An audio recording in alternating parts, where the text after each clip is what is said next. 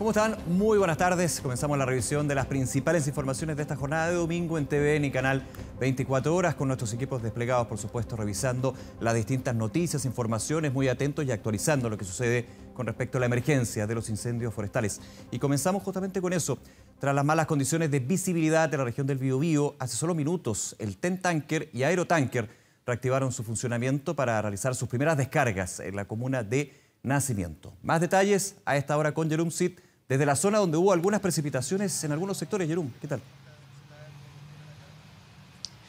Así es, Nicolás, ¿cómo estás? Muy buenas tardes. Te saludamos desde acá, desde la capital regional del Biobío, porque el subsecretario del Interior, Manuel Monsalve, lo dijo hace algunos minutos en el punto de prensa luego de este comité de riesgo y desastre. Durante toda esta jornada habrá una ventana climática que hará que caigan las temperaturas y es parte de lo que pudimos eh, ver durante esta mañana precisamente con una llovizna y una vaguada costera con cielos bastante nublados cerca del mediodía fue que comenzó a eh, abrirse un poco y se asomaron algunos rayos de luz, pero la condición acá sigue eh, con nubosidad. En este minuto, precisamente, parte de lo que ustedes pueden ver en la imagen de Ricardo López es la llegada del aerotanker que hace cerca de unos 40 minutos realizó su primera descarga, su primer despegue, luego de haber eh, despegado de la losa del aeropuerto Carril Sur, precisamente el TEN Tanker. Primeramente salió este avión guía para poder de alguna manera guiar el camino y la ruta hasta la comuna de Nacimiento, donde se concentrarán durante esta jornada, según nos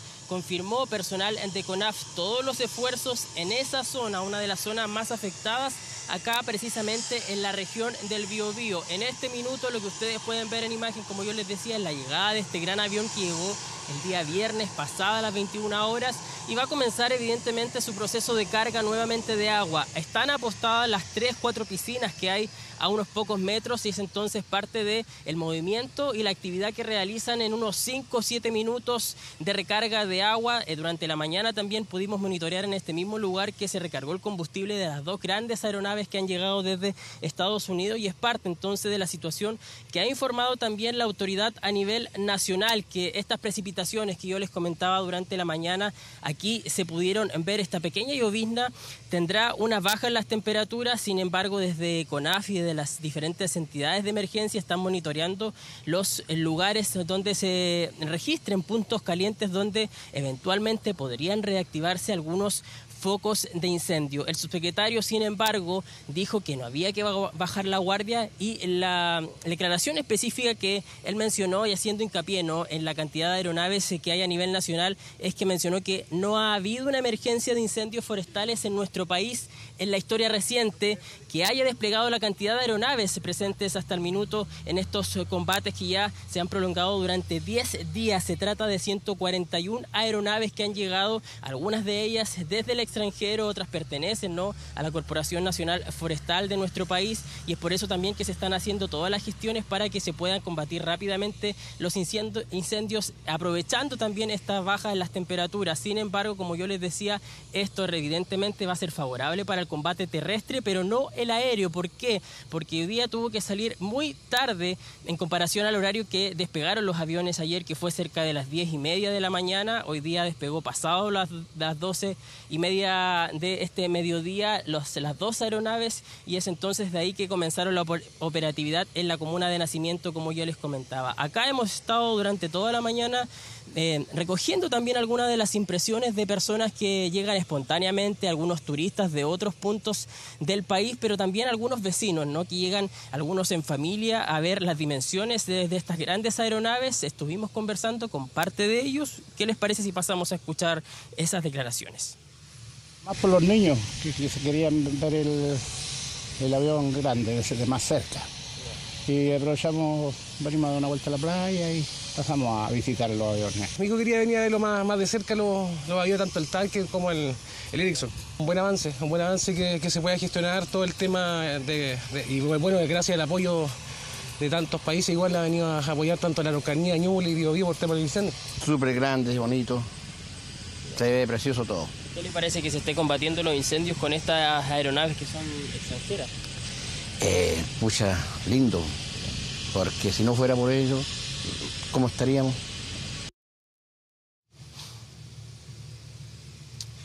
Claro, lo hablábamos durante la mañana, hacíamos también el análisis, porque claro, las personas eh, durante la jornada de ayer y las jornadas anteriores donde se han combatido estos siniestros, tras la llegada de estas grandes aeronaves desde Estados Unidos, eh, nos da la sensación, y ellos mismos nos podían constatar ahí en las declaraciones que ustedes escuchaban, que las esperanzas también, claro, están puestas en estas ayudas extranjeras. Lo cierto es que desde CONAF nos confirmaron hace muy poquitos minutos que durante esta tarde precisamente van a llegar acá alrededor de 140 personas, eh, brigadistas, bomberos y efectivos de fuerzas especiales de protección civil, específicamente son portugueses que llegan a la zona a combatir los siniestros, eh, pero ya esto también se suma a un total de 500 personas que han llegado de diferentes países, de España precisamente lo veíamos hace algunos días atrás, de Colombia y de otros países también de la región, no de Latinoamérica, y es parte entonces de la situación que mantienen alerta aún a las autoridades. De hecho, el subsecretario en el COGRID que pudimos eh, despachar, mostrar ahí en sus pantallas hace muy poquitos minutos, eh, comentaba que el día miércoles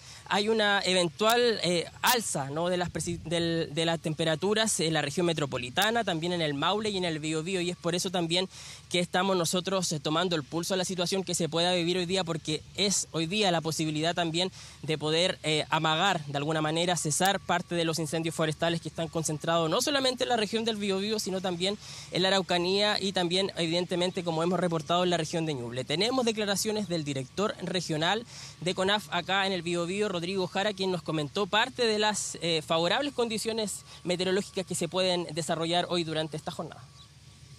Bueno, existen efectivamente sectores en donde eh, existió una pequeña precipitación. Eh, sin duda es algo que favorece, humedece algo el suelo, baja un poco la temperatura eh, pero también estamos viendo la disponibilidad de realizar sobrevuelos. Eh, en algunos sectores aún no podemos levantar las aeronaves, pero es un factor positivo eh, preliminarmente. Se tiene que seguir evaluando el resto de la superficie afectada para ver cómo vamos a poder trabajar con las aeronaves el día de hoy.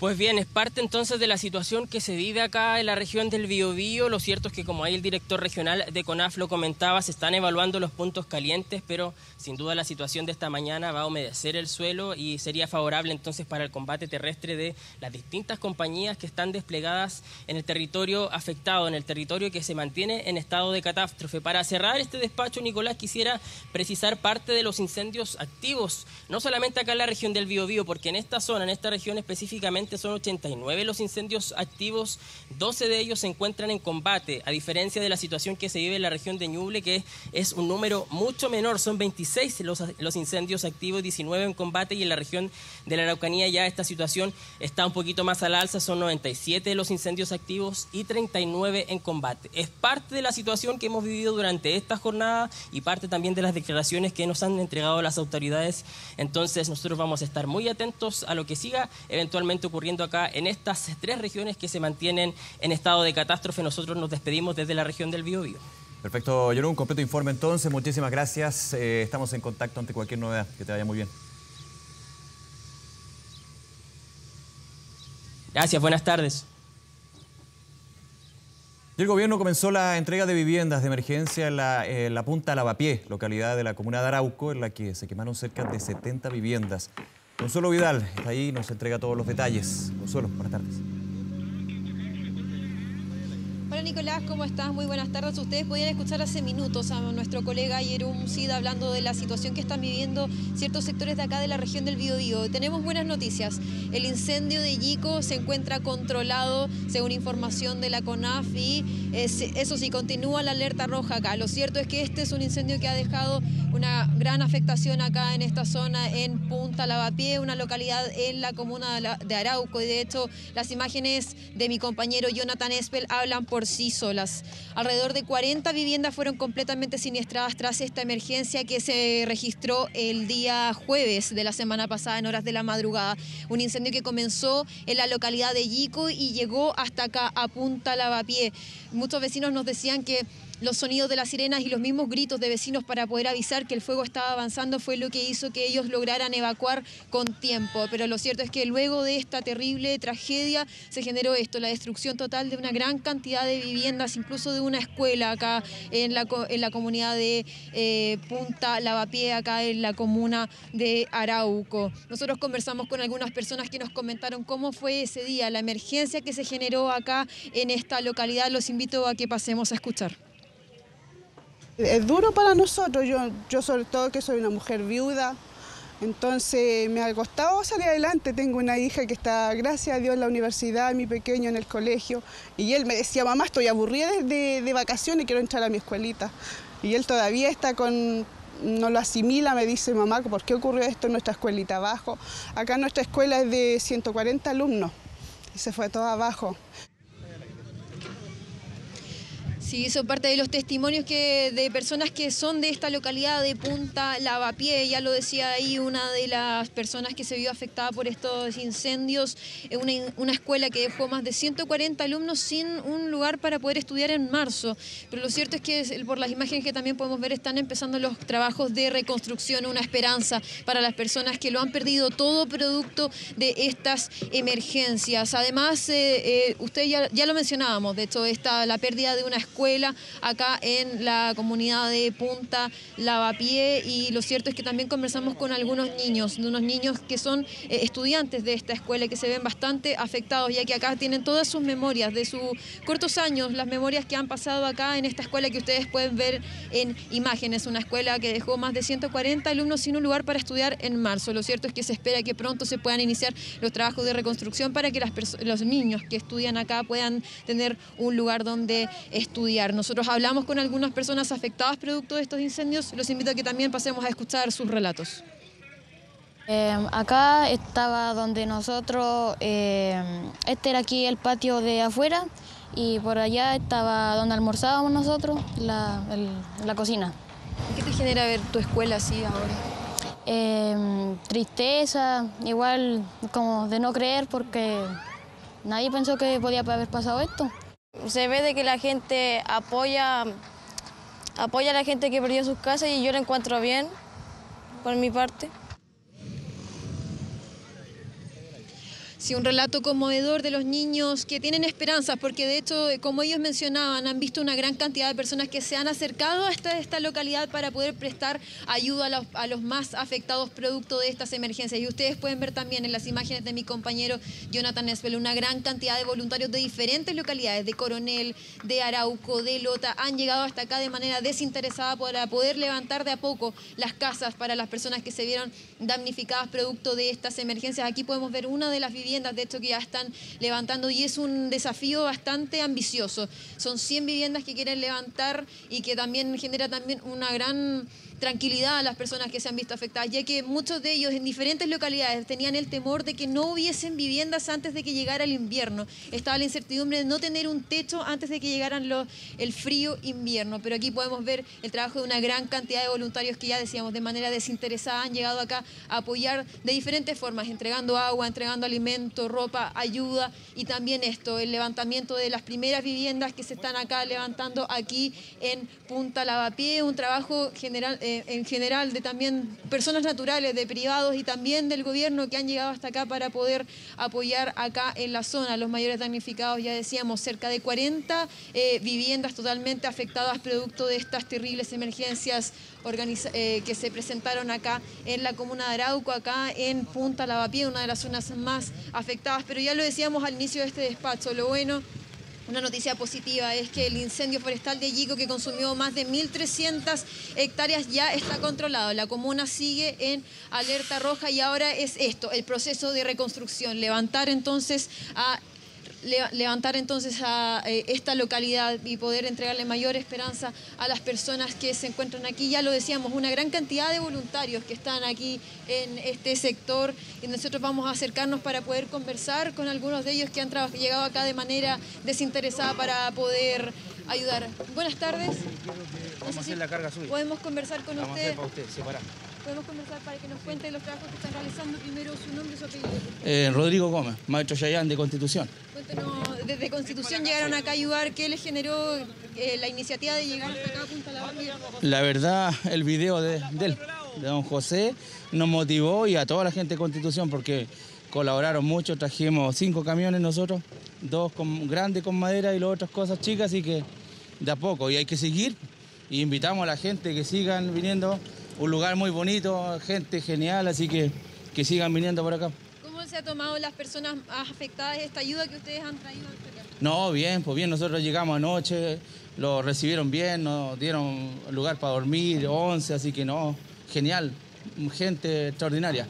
Usted me decía que a partir de un video ustedes los motivó a llegar hasta acá. ¿Qué, qué video era ese? Si nos puede comentar. Y claro, un video que estaba en las redes sociales de don José hablando sobre esto, porque él andaba ayudando en otro lado y cuando llegó acá él tampoco no tenía nada, entonces nos motivó a venir por acá. ¿Cuántos voluntarios son más? o menos? Ah, 10. ¿Y espera que se sigan sumando más personas para poder eh, llegar en ayuda de esta localidad? Claro que se- nosotros yo creo que vamos a venir de nuevo a Constitución con un gremio de transportistas independientes que ellos están, me mandaron a mí para ver dónde hay que venir y, y después venir con la ayuda más grande. Así que Dios quiera que salga todo bien. Vale. Rodrigo. Son los testimonios de las personas que han llegado acá de manera desinteresada. Ustedes escuchan desde Constitución. Hemos estado también hablando con otras personas que vienen, ya le decíamos, desde Coronel, desde Arauco, desde Lota, todo esto de manera desinteresada. Personas naturales que se conmovieron por la situación que se presentó acá en Punta Lavapié y quisieron llegar en ayuda de los mayores afectados producto de estas emergencias registradas acá en la zona centro-sur de nuestro país, esto específicamente en la región del Biobío, ya lo decíamos, empiezan los trabajos de reconstrucción, una esperanza para las personas que lo han perdido todo producto de estas emergencias y ha llegado una gran cantidad de ayuda, pero también se espera que se sumen más personas para poder pronto levantar entonces esta localidad acá de la comuna de Arauco. Consuelo Vidal ahí con las imágenes, se inician los trabajos de reconstrucción. Muchísimas gracias Consuelo, vamos a estar muy atentos y siguiendo también las historias que se dan en este punto y otros. Muchas gracias, que te vaya muy bien. Y continúa el combate de los focos de incendio en la comuna de Galvarino, la localidad de la región de la Araucanía que se mantiene con toque de queda ha afectado a numerosas familias, entre ellas una joven de 17 años que fue alcanzada por las llamas cuando intentaba rescatar a sus animales. Catalina Sánchez nos entrega esta información eh, a esta hora. ¿Qué tal, Catalina? Hola Nico, ¿cómo estás? Sí, efectivamente, tú bien lo decías, continúa el combate de los incendios forestales acá en la región de la Araucanía, una emergencia eh, que está ocurriendo en la zona centro-sur de nuestro país, ya lo escuchábamos también, ¿cierto?, la región del Biobío. Compleja sigue siendo la situación, si bien en la Araucanía hay cerca de 35 focos activos en las distintas comunas, tanto en la provincia de Cautín como en la provincia de Mayeco, sigue siendo una emergencia, sigue siendo muy complejo lo que está ocurriendo. ¿Por qué lo decimos? Porque todavía hay una amenaza inminente a viviendas, principalmente viviendas en esta comuna de Galvarino a sectores rurales hasta este momento y ya cuando se cumplió una semana desde que se prendieron estos focos eh, hay 18 casas eh, quemadas 18 familias que hoy día han quedado con lo puesto han quedado de brazos cruzados pero que sobre todo están haciendo un llamado a las autoridades un llamado a los municipios para poder eh, entregar una contención en ICO no solamente material, sino que también poder entregar una contención emocional, porque acá hay un daño muy grande para cada familia que tenía que evacuar, que veía cómo el fuego se propagaba rápidamente hacia las viviendas. Eh, lo hemos reiterado y lo volvemos a decir, Nico, no es fácil para las familias poder dejar sus casas, poder eh, salir, ¿cierto? Y, dejar todo lo que han construido por años. Eh, pudimos conversar con, con víctimas, nos señalaban lo difícil que era ver cómo el fuego se propagaba debido a las altas temperaturas pero también por los fuertes vientos que se han registrado acá en la zona en los últimos días, eh, vientos que no dan tregua, eh, temperaturas que siguen altas, si bien ahora en los próximos días se espera que bajen un poco, eh, sigue el combate día y noche con recursos aéreos, con recursos terrestres, con brigadistas incluso de otros países. También lo veíamos en la región del Biobío, brigadistas que han llegado a apoyar todas estas labores para poder combatir las llamas lo más pronto posible y poder evitar, por supuesto, que el fuego se siga propagando a más viviendas. Eh, hay resguardo eh, con personal del ejército, resguardo por eh, personal de carabineros, por supuesto, junto a voluntarios de bomberos para poder, en primera instancia, Nico, y tal como lo ha señalado ya el gobierno, poder proteger la vida de las personas, poder eh, asegurarse de que evacúen con éxito y poder evitar, ¿cierto?, tener que lamentar fallecidos. Recordemos que acá en la Araucanía hay seis eh, personas lamentablemente fallecidas producto de estos incendios que mantienen a la Araucanía bajo una alerta roja, eh, producto de todos estos focos que siguen en combate día y noche para poder evitar que esto siga eh, afectando a más viviendas. Acá en la comuna de Galvarino, Nico, hay 18 casas que han sido eh, afectadas, que han sido consumidas por la acción del fuego. Eh, estuvimos recorriendo estos sectores, son sectores rurales los cerros que rodean esta comuna y que lamentablemente hemos visto cómo están buscando ayuda, cómo están esperando que llegue el agua. es importante recalcar eso, Nico, lo que más necesita la familia hoy día es el agua. Y ustedes lo ven en imagen en vivo, todos estos bidones que han llegado por el sector público, por el sector privado, para poder ir en ayuda a estas familias que hoy día están eh, necesitando recursos, ¿cierto?, para poder levantarse, para poder comenzar a pensar también en una reconstrucción. Pero si bien el gobierno las autoridades lo han dicho, lo que más importa hoy día es poder combatir el fuego, es poder terminar con esta emergencia, evitar que se activen nuevos focos, pero sobre todo poder proteger la vida de las personas, ¿cierto? Y asegurarse de que ellos puedan evacuar eh, con éxito. Acá, eh, Nico, eh, conversamos también durante esta mañana con el alcalde de la comuna que reiteró, ¿cierto?, cuáles son los elementos que hoy día más se requieren en esta zona de nuestro país. Te invito a que pasemos a escucharla. Necesitamos mucha ayuda, sobre todo en material de construcción, en agua, alimentos para animales, ya sea granos trigo y alimentos para mascotas. La verdad que tenemos cuatro focos que están activos en este momento, hemos tenido ya más de 40 incendios en la comuna y como le digo, nuestra gente del sector rural está siendo demasiado afectada, tenemos más de 18 viviendas justamente catastradas y afectadas. La ropa. Sí, es importante señalar, lo han reiterado también las autoridades comunales, ropa es lo que ya no se necesita. Y acá hay un punto muy importante, Nico, porque también se ha recibido ropa que no está en las óptimas condiciones. Es importante hacer ese llamado a la ciudadanía, quienes hoy día estén eh, donando ropa, que estén en buenas condiciones, que por ejemplo las zapatillas no estén rotas, eh, que, la ropa que se entregue para hombre, para mujer y por supuesto para todas las edades esté en buen estado. Eh, si no puede ser nueva, que esté cierto en óptimas condiciones para que pueda ser utilizada por estas familias que hoy día requieren de todo, que han quedado con lo puesto y que en realidad tienen que volver a levantarse desde cero. Está, eh, además decir, Nico, que la ropa interior que también se requiere tiene que ser nueva. Hay eh, bastante, bastante ayuda que ha llegado a esta comuna, como lo están viendo en pantalla, ¿cierto? Pero sí, el alcalde reiteraba este llamado también a poder entregar eh, vestimenta que esté en óptimas condiciones. sumado a ello, lo que más falta hoy día también, por supuesto, es em, eh, alimentos, ¿cierto? Alimentos no perecibles, alimentos incluso para animales. Eh, eh, se han perdido también muchas mascotas.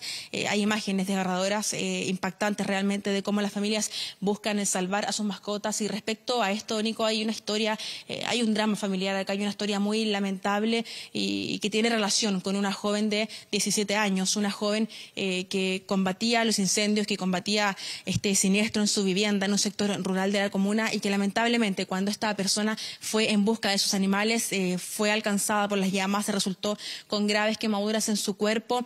Eh, ella fue trasladada en primera instancia hacia la zona urbana de Galvarino al hospital, ¿cierto? Pero eh, producto de esta gravedad de sus lesiones fue llevada hasta Temuco y el viernes durante la mañana hasta Santiago. Ella se mantiene conectada a ventilación mecánica, está en riesgo vital. Es una situación muy compleja que está viviendo esta familia de la comuna de Galvarino. Estuvimos ayer conversando incluso con su hermana que le envió un mensaje a Betsabe a esta joven de 17 años eh, un mensaje de amor, un mensaje de cariño y también de esperanza, de poder em, esperarla nuevamente en su casa. Ella está muy complicada en estos momentos, se mantiene con riesgo vital, pero está también luchando por su vida, así que te invito a que pasemos a escuchar justamente esas declaraciones.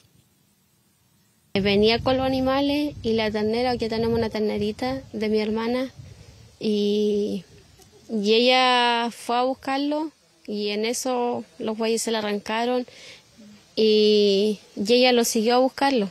Y ahí yo le dije, Nana, ¿para qué fuiste a buscarlo? ¿Por qué no te viniste? Y ahí ella le pasó que ella se quemó.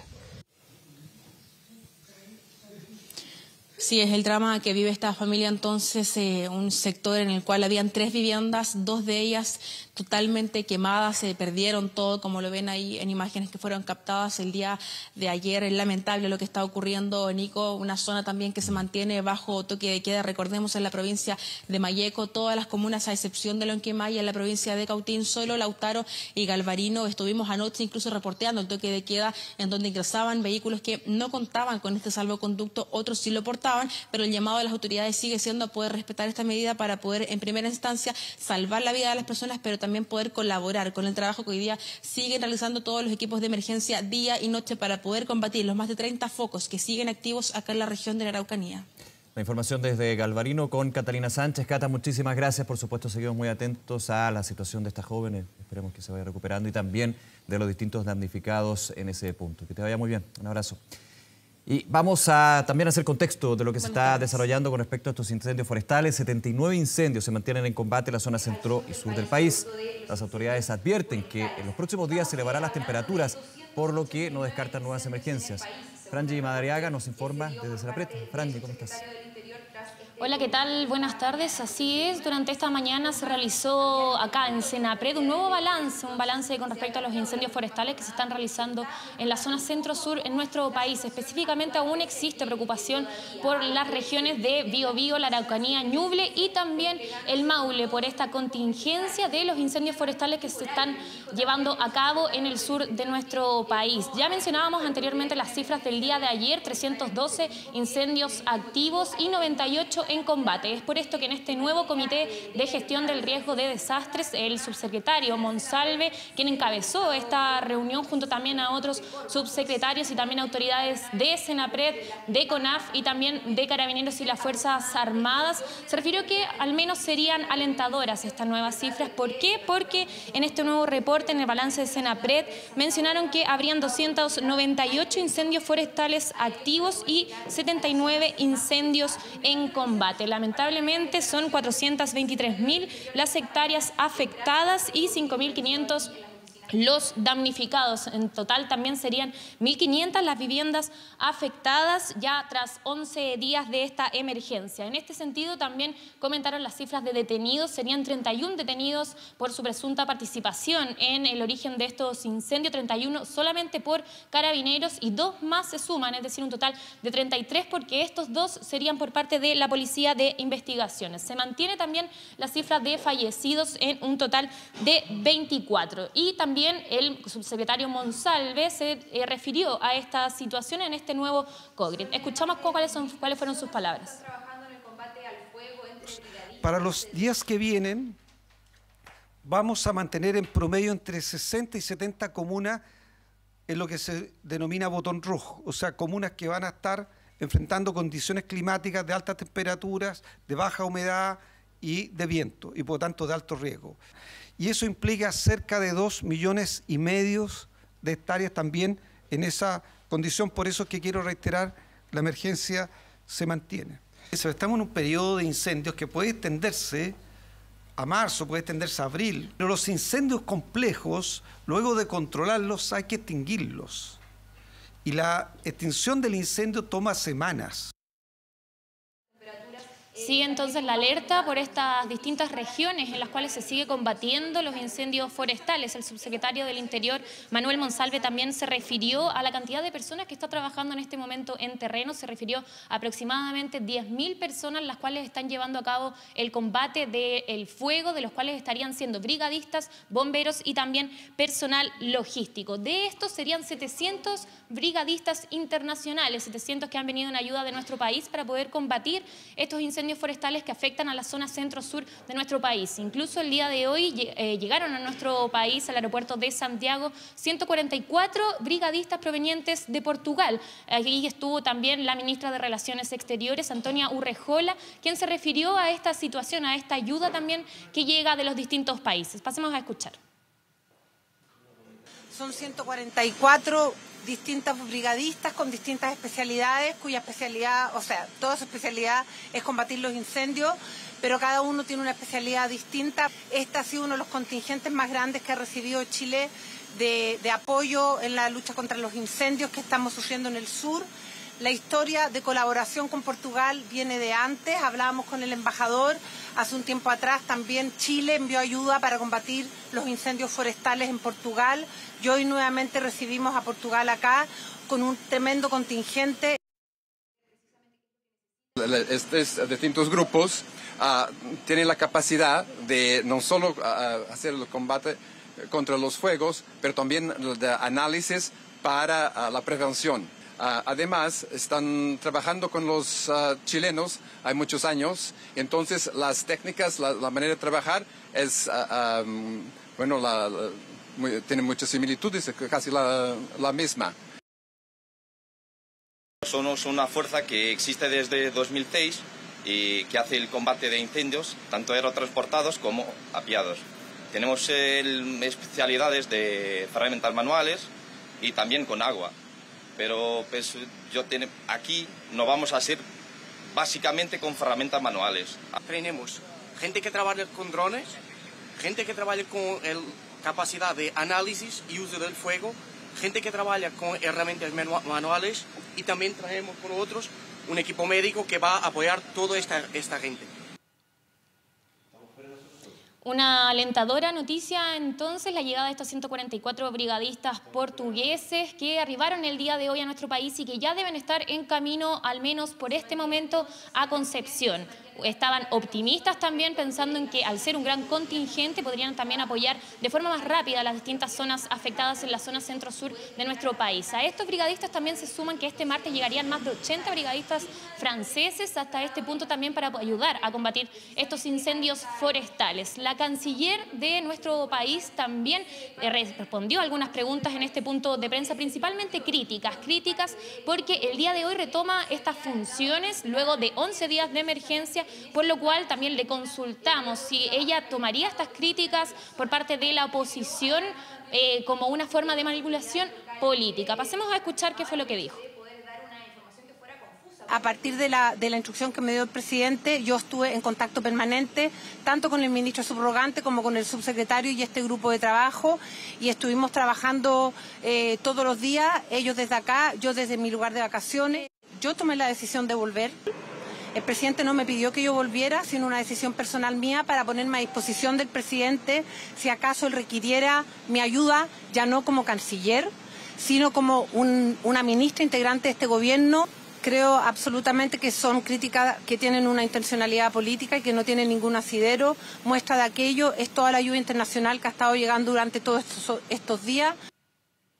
Retoma sus funciones entonces la ministra de Relaciones Exteriores, Antonia Urrejola, el subsecretario del Interior, Manuel Monsalve, también se refirió a esto, también por una especie de ausencia del ministro de Vivienda. ¿Y qué fue lo que dijo? Dijo que al menos los distintos ministerios tienen también un equipo detrás que está en terreno también para ayudar a combatir estos incendios. También la autoridad del Ministerio del Interior se refirió a que el día de hoy existen tres objetivos principales en el combate de estos incendios. El primero sería efectivamente el combate del incendio, la disipación de estos y disminuir los incendios activos, lo cual también se ha visto, ya lo mencionábamos, que el día de ayer habían 312 incendios activos, el día de hoy por lo menos serían 298, una cifra que va disminuyendo y en este segundo gran objetivo también sería ir en ayuda de las distintas personas que han sido damnificadas, 5.500 personas damnificadas que al menos los otros días la ministra del Interior, Carolina Tobá, mencionaban que esta ficha básica de emergencia que se está repartiendo, catastrando, perdón, en terreno ya habría llegado a la mayoría. Hoy día confirmaron que serían más de 3.000 las personas que han rellenado este catastro, las cuales también están esperando que desde este lunes puedan recibir las distintas medidas y ayudas por parte del gobierno. En el último punto, el subsecretario del Interior mencionó que el último objetivo sería también ya próximamente la planificación en cuanto a la reconstrucción, la cual ya sabemos que está a cargo de la delegada Paulina Zaval. Nosotros vamos a seguir atentos a cómo se sigue desarrollando esta situación, estos incendios forestales que afectan a la zona centro-sur de nuestro país, que también, como mencionaba personal de CONAF, se espera que en los próximos días, al menos hasta el jueves, exista también unas altas temperaturas, lo cual también dificulta este combate de incendios en la zona centro-sur de nuestro país. Claro, por eso el llamado a extremar las medidas de prevención para justamente no ir sumando nuevos episodios de incendios forestales, de foco en este caso. Muchísimas gracias nuevamente, que esté muy bien, buenas tardes. Buenas tardes. Y una ola de incendios que ha generado un impacto en niños y niñas de nuestro país, quienes han mostrado solidaridad y apoyo a los equipos de emergencia, desde ayudar a cruzar un río bomberos hasta preparar colaciones en una valla común. Es su forma de aportar en esta catástrofe. Una imagen que se hizo viral. Lucas, de 13 años, vive junto a su familia en el sector de Futa, cerca de Corral. La única forma de llegar a su casa es cruzando el río en barcaza. Para evitar que el fuego los alcanzara por los incendios forestales que afectaron a más de 2.900 hectáreas en esa zona, Lucas tuvo que trasladar en bote a bomberos. El fuego ya estaba llegando a mi casa y la única esperanza que cruzara los bomberos era yo. Hice un viaje que traje 10 bomberos Ayudó también a personal de CONAF a movilizarse, un gesto de ayuda ante la desesperación, mientras su papá y mamá combatían el fuego para que no llegara a la casa, que finalmente se salvó. Es lo que hace Luca invierno y verano, todos los días para salir al colegio. El Luca es un niño muy solidario. En Purén, los niños y niñas participan de una olla común que se organiza para entregar 220 colaciones diarias, comida para damnificados por el incendio y el equipo de emergencia que trabaja día y noche.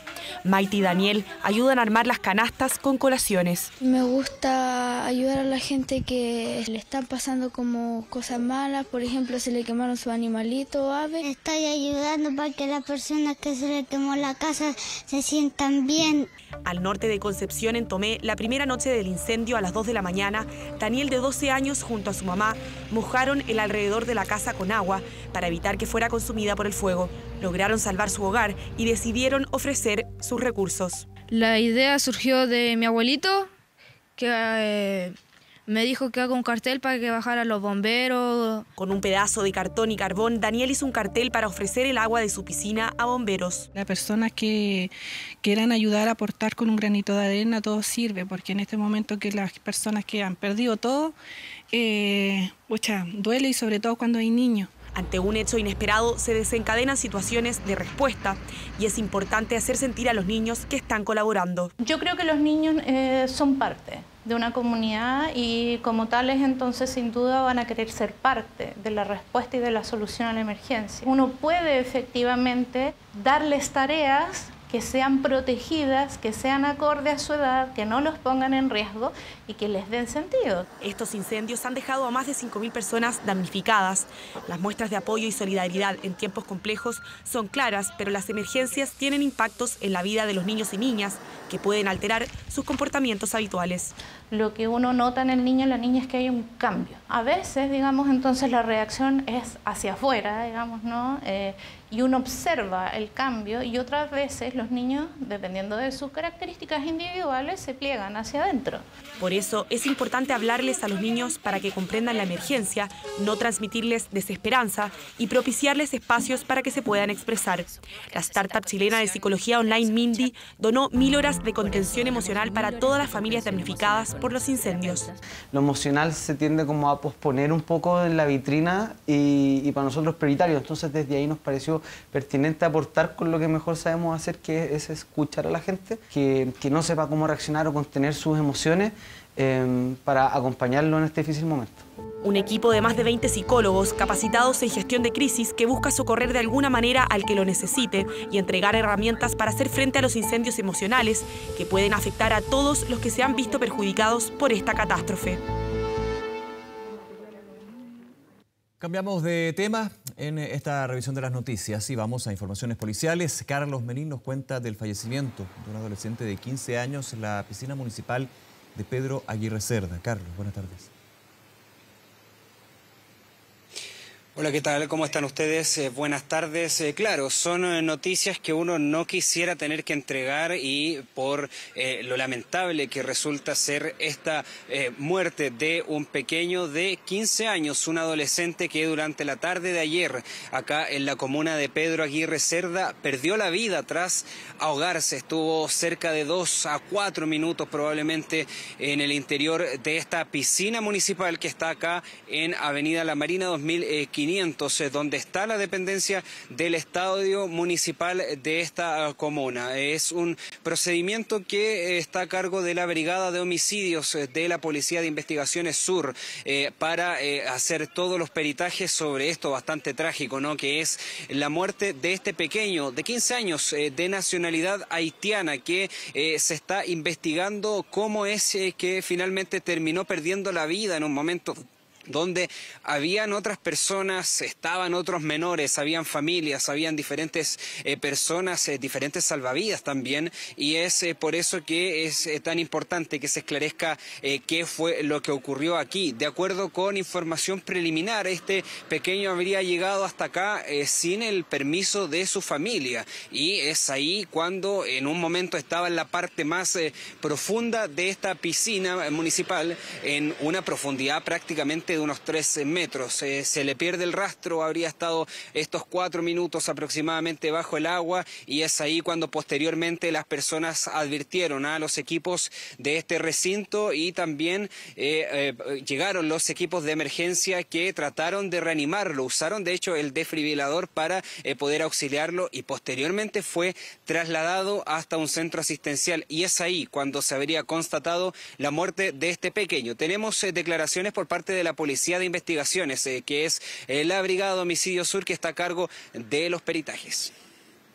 Detectives de la Brigada de Homicidio Sur, en compañía de profesionales peritos del Laboratorio de Criminalística Central y de un médico criminalista, concurrieron en primera instancia hasta el SAR Amador Negme de la comuna de Pedro Aguirre Cerda, constatando que al interior de este centro asistencial se encontraba un adolescente de 15 años de edad, de nacionalidad haitiana, fallecido producto de hechos que habrían ocurrido en horas de la tarde al interior de la piscina municipal de la comuna de Pedro Aguirre Cerda.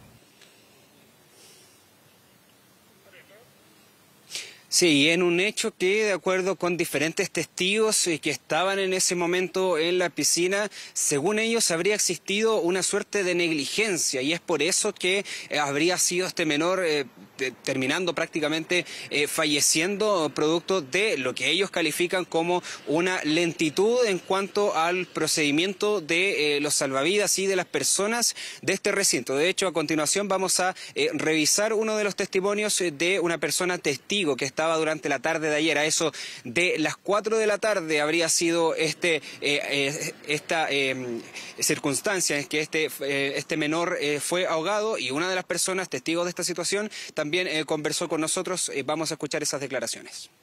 Ya todos vieron el tema que salieron arrancando, o sea, agarraron al niño y lo dejaron ahí y dejaron a toda la gente en la piscina y ya después de 15 minutos sacaron a la gente de la, del agua.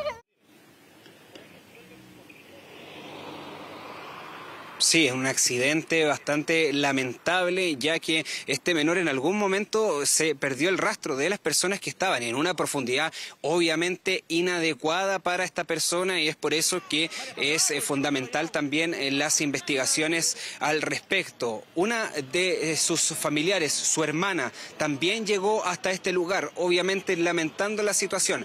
También reclamó que habría existido negligencia por parte de este recinto. También pasamos a escuchar a palabras.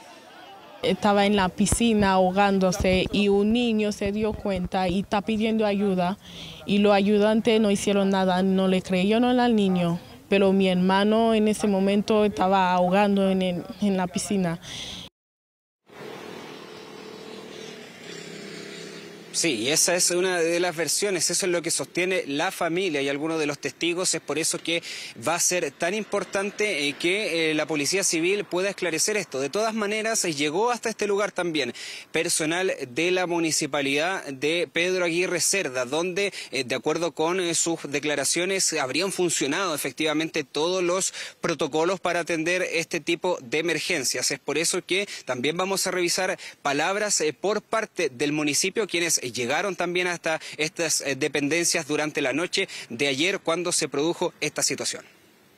En esta ocasión, efectivamente se usaron todos los protocolos, se actuó con la celeridad máxima posible, sin embargo, por razones que se están hoy día investigando, y por eso ustedes pueden ver acá la PDI, eh, por orden de la Fiscalía, se está trabajando para esclarecer qué pasó efectivamente.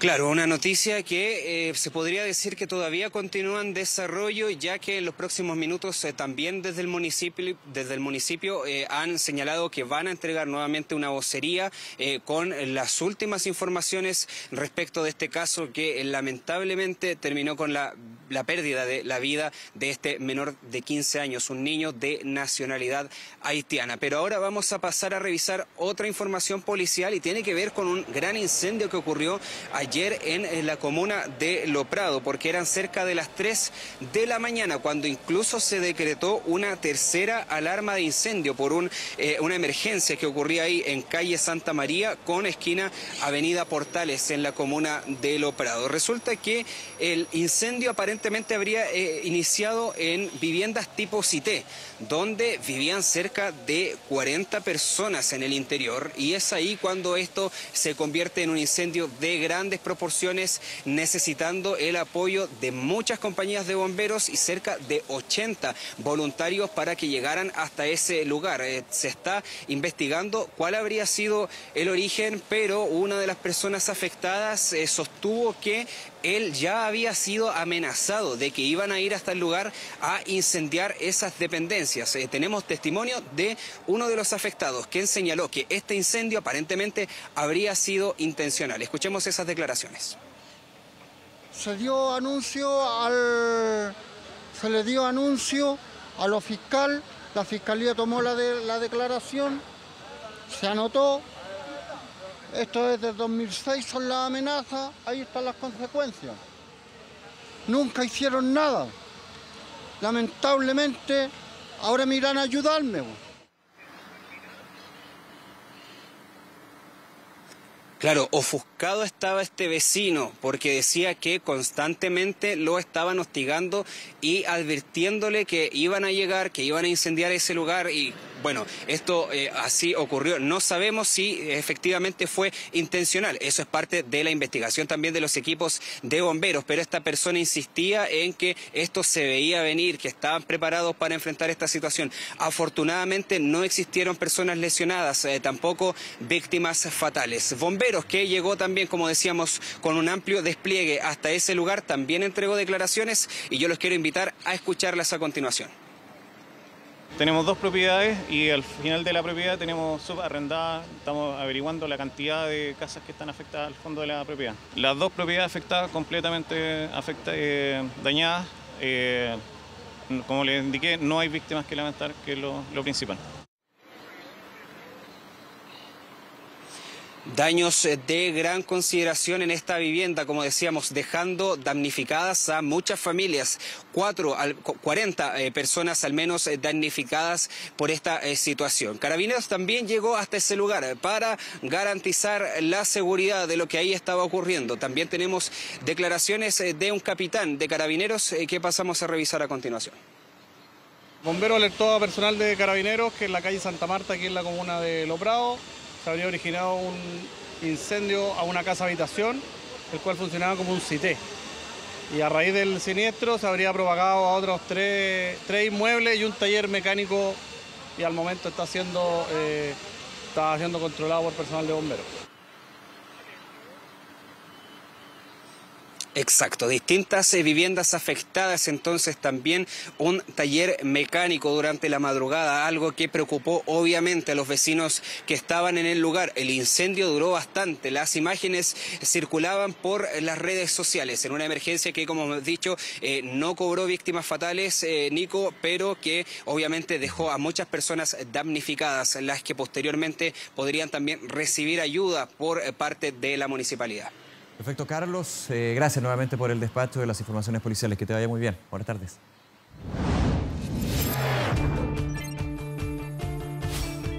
Internacional.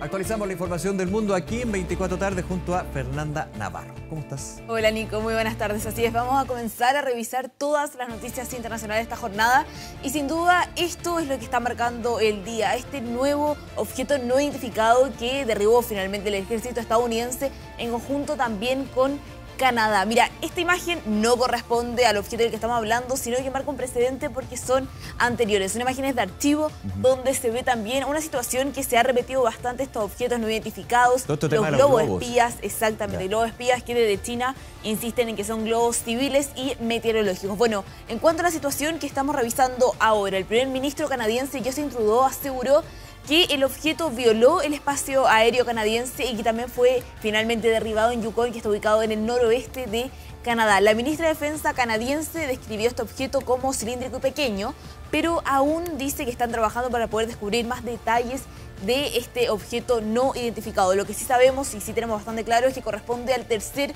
objeto derribado sobre América del Norte en esta última semana.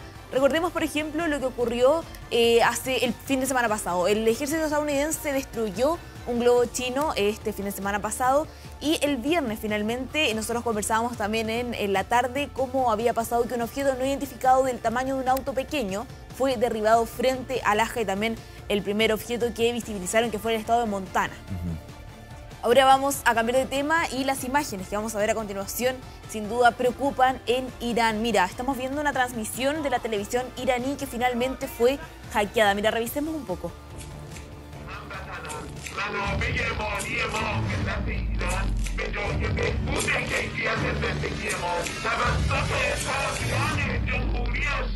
Bueno, esta intervención, este hackeo ocurre mientras estaban conmemorando 44 años de la revolución islámica. Los hackers interrumpieron durante un minuto consecutivo el discurso del presidente iraní Ebrahim Raisi y en la pantalla apareció el logo de un grupo de hackers informáticos antigobierno iraní que se conoce con el nombre Justicia Dalí y además se escuchó una voz que grita muerte a la República Islámica. El gobierno iraní enfrenta uno de sus momentos más complicados frente a las manifestaciones contra su administración por la represión del país, porque estas protestas se mantienen en Irán, Nico, desde septiembre del año pasado por la muerte de la joven de 22 años, Masa Amini, quien fallece en manos de la policía de la moral por llevar mal puesto su velo islámico. Un hecho que revoluciona y que también preocupa en Irán, pero que también toda, todo el mundo se ha visto bastante afectado por la situación de Masa Amini. Sí, claro, un tema que está ahí pendiente a nivel internacional y con muchas condenas también.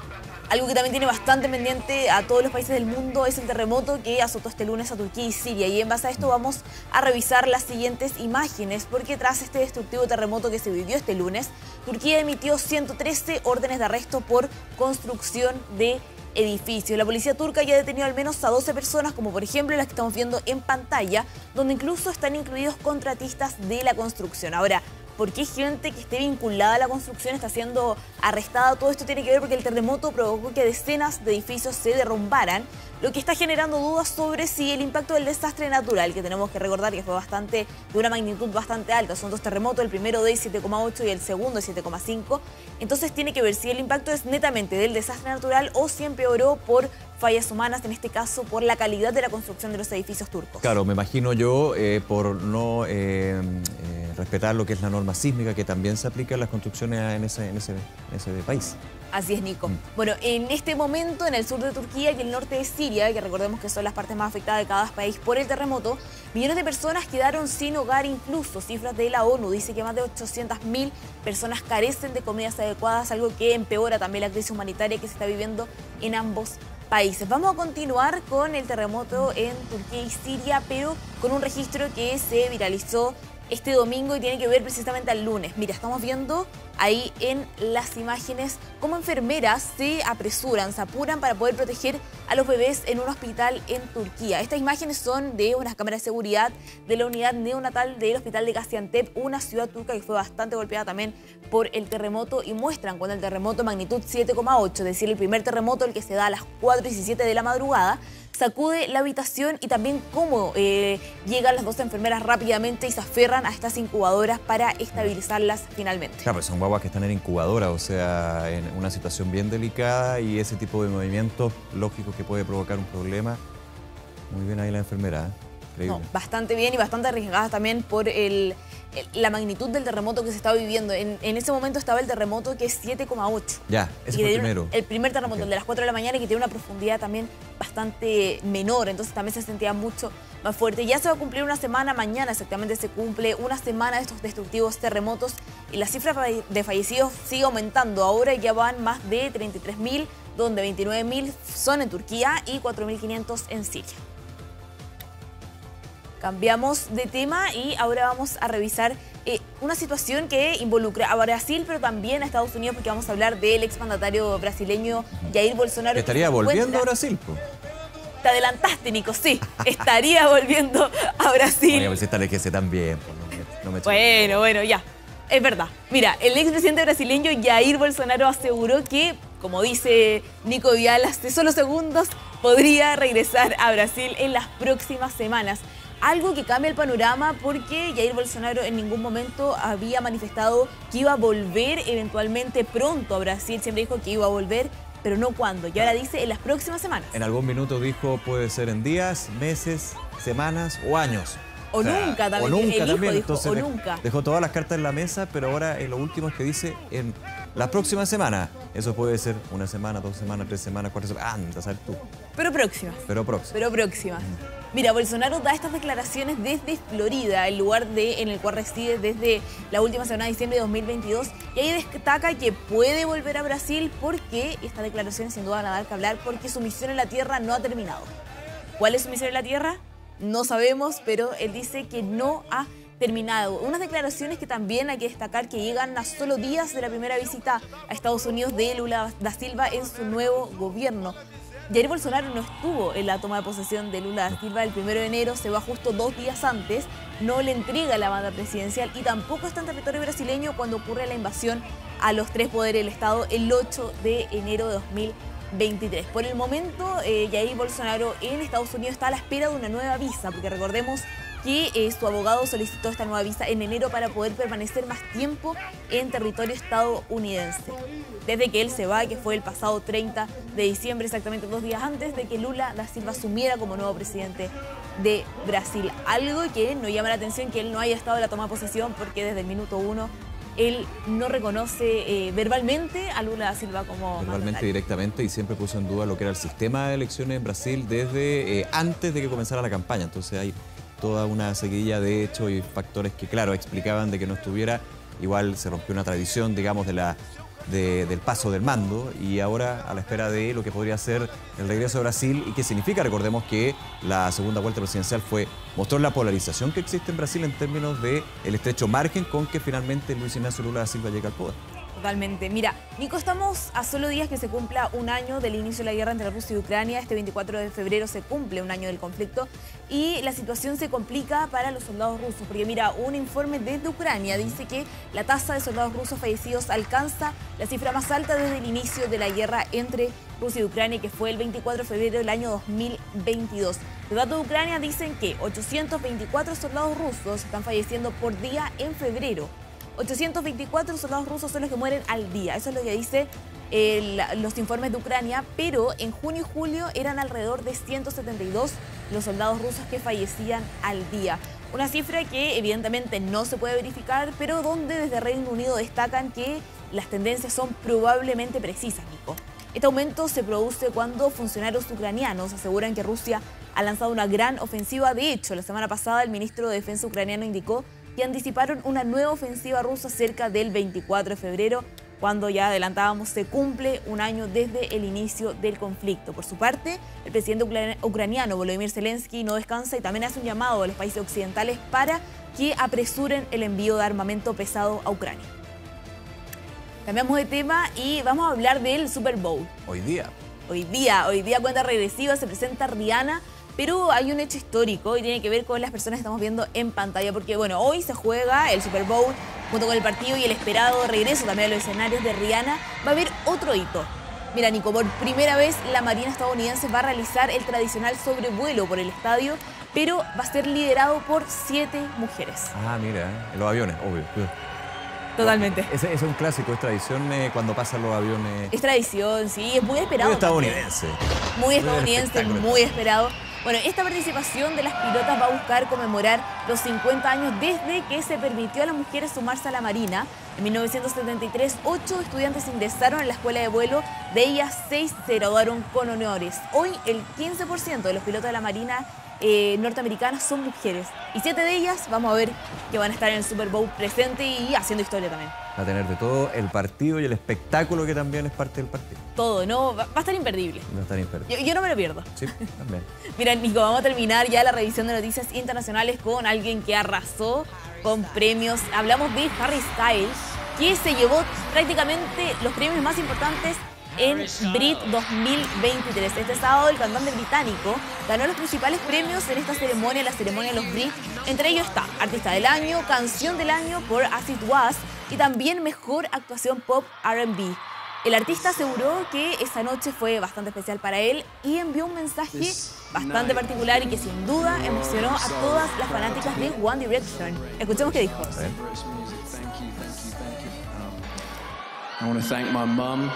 Quiero agradecer a mi madre por inscribirme en Factor X sin decírmelo.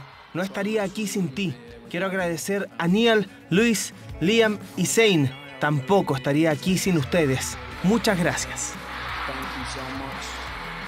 Ahí escuchábamos cómo hace alusión, como nombra a sus compañeros del grupo One Direction que se forma en Factor X también. Sí, pues este reality, no, no, no reality, pero este programa de talentos. De concurso. se me había olvidado que, que claro, eh, había comenzado ahí One Direction y después dejaron la grande y ahí Harry Styles de solista deja más la grande aún y lo vemos ahí ganando premios como lo. Todos tienen sus carreras de solistas y les va increíble, pero Harry Styles sin duda esta vez arrasó con todos los premios, pero él también llegaba como favorito a esta gala porque ganó el premio Grammy de Álbum del Año por Harry House, que fue el más vendido de Reino Unido en el año 2022. Mira, Harry Styles. Harry Styles. La, la sigue, la sigue rompiendo. Sí. Feña, muchas gracias. Que estés bien, Nico. Que te vaya muy bien, cuídate. Bien, vamos a otro tema. Solo quedan dos días para el Día de los Enamorados y los chilenos y chilenas empiezan a buscar el regalo más romántico para su pareja. Con esto, las flores, como siempre, se vuelven un obsequio imprescindible para conocer colores, tamaños, especies, también precios. Estamos ya con Sofía Cepeda, quien nos cuenta y nos muestra. ¿Cómo estás, Sofía? ¿Qué tal?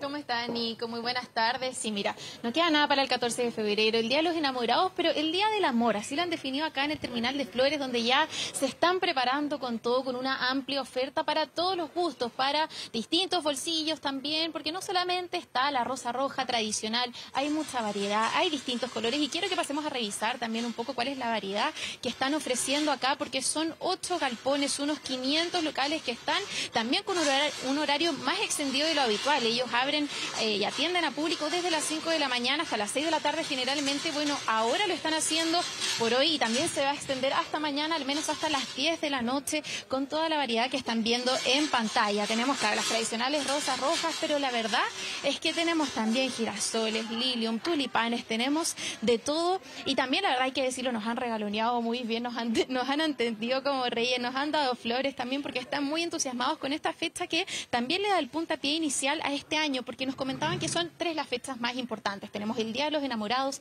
después en mayo tenemos el Día de la Madre y claro, ya en noviembre el Día de Todos los Santos. Entonces también esta es una fecha muy importante acá para todos los comerciantes. Hacen un llamado también a mantener esta tradición, a regalonear a nuestros seres queridos, no solamente eh, celebrando el amor de pareja, sino que también regaloneando a los papás, a los hermanos, a los amigos, a los abuelos y a todas las personas con un lindo detalle como son las flores. Los invito en este momento a escuchar parte de lo que nos dijeron algunas de las personas que llegaron a comprar y también algunos de los vendedores que se están preparando con todo para este Día de los Enamorados. Escuchemos.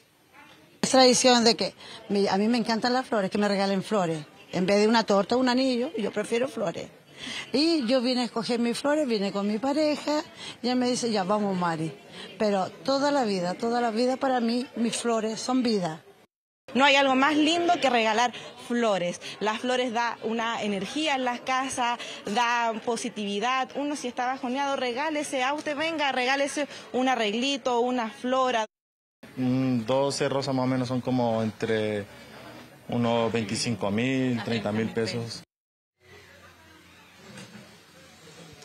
Claro, teníamos el llamado entonces, no solo celebrar, celebrar el amor de pareja en este 14 de febrero, sino que también, ¿por qué no autorregalonearse, venir a comprarse flores como lo hacía la señora? Ella venía acompañada de su marido, pero decía que ella le gustaba elegir sus propias flores. También hay mucha variedad de distintos colores, como podemos ver, y hecho conversamos con uno de los expertos acá que nos estuvo explicando eh, cómo orientarnos. Algunos se van por el rojo tradicional, otros eligen otras tonalidades para este día, dependiendo a quién eh, le van a regalar estas flores. Los invito a escuchar lo que nos explicó también, muy interesante respecto respecto al significado de los colores eh, de las flores. Escuchamos.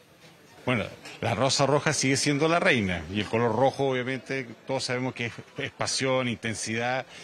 Ahí dice flor naranja, ¿qué es lo que es color naranja? es un color que representa aventura, ah, eh, invención, creatividad. Tenemos el color azul, hay rosas azules, ah, que, es confianza, la blanca es pureza. Eh, violeta, que es un color así de, humildad, dignidad.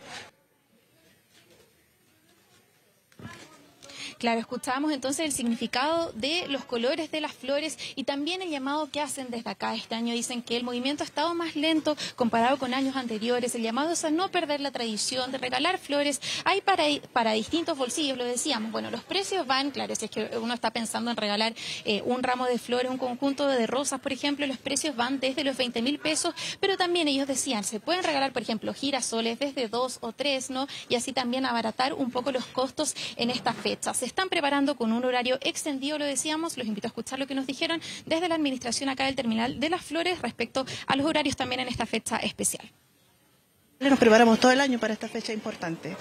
Como nos hemos preparado, bueno, tener variedad, eh, precios adecuados para que no se asusten y con horarios más extensos. Si bien es cierto, nosotros funcionamos todos los días desde las 4 o 5 de la mañana, hemos eh, prolongado el, horario de cierre, 22 horas, eh, para que se acerquen a, acá al terminal.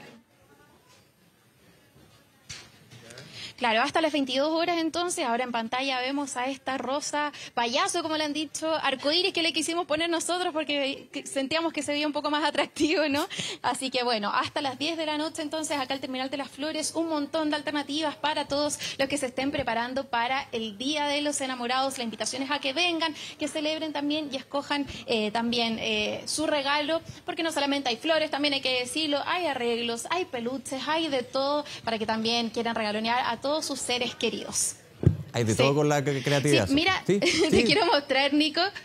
Le van a regalar Nico, para que veas cómo nos han regaloneado. Oh. Me van a regalar flor del terminal. Qué buena. Hola, mira, nosotros representamos a Solo Rosas y algo más que nuestra empresa está acá atrás. Tenemos todos nuestros arreglos, el cual nosotros trabajamos con muchas flores también, pero ya arreglos ya personalizados, ya no trabajamos con paquetes, sino más personalizados a los a nuestros clientes. Pues. Muestren, por favor, los trabajos tan lindos que tienen. Así podemos ver atrás el arreglo también. Así que muchas gracias. Así que con esas imágenes nos despedimos, Nico, todas las alternativas del terminal de flores. Aquí van a varios pedidos. que nosotros le queremos dar a nuestro fotógrafo, a nuestro a camarógrafo, a Miguel. A Miguel. Señor Miguel, esto es para usted. Miguel, Muchas Miguel es un enamorado del amor. Bueno, Nico. Ya pues.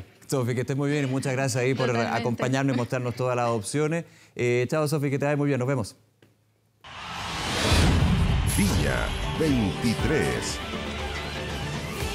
Flores y de todo va a haber en Viña 2023. Faltan días, ya el viernes es la nueva gala, pero también hacemos recuerdos de tantas historias que se han dado en eh, el Festival de Viña. Estamos con Kevin Felgueras, parte del equipo, el gran equipo de 24 horas que va a estar ahí en el festival. ¿Cómo estás? ¿Cómo estás, Nico? Oye, usted regala flores para el 14 de febrero, ¿no? Sí, pues yo regalo. Tan buena la idea. y, tenía que lanzarla para comprometer. Pero por supuesto, para que quede comprometido con todo el país. ¿Usted para, usted para qué digo si regala, tiene como cinco aniversarios? Es verdad, hablando de flores, flores lo que vamos a ver la próxima semana, el próximo domingo vamos a estar a unas horitas nomás de la noche inaugural de este nuevo festival, el Festival del Reencuentro, Festival de Viña del Mar y efectivamente hay que recordar un poquito lo que iba pasando hace exactos 20 años, donde tuvimos la presencia de los prisioneros. Escuchemos este momento. A ver.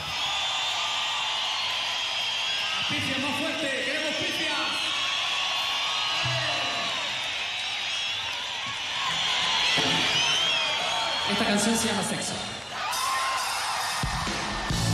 Jorge González. Ningún artista pide pifia al entrar, solamente Jorge González. O sea, todos los artistas entran muertos de miedo, algunos al, escenario de la Quinta Vergara. Ese escenario, ese monstruo que se te viene encima justamente en Viña del Mar.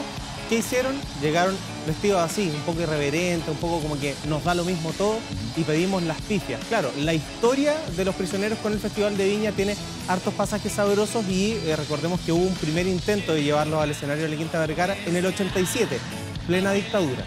Dijeron que no, obviamente, y lo que sí, ese año, el 87, vino Soda Stereo.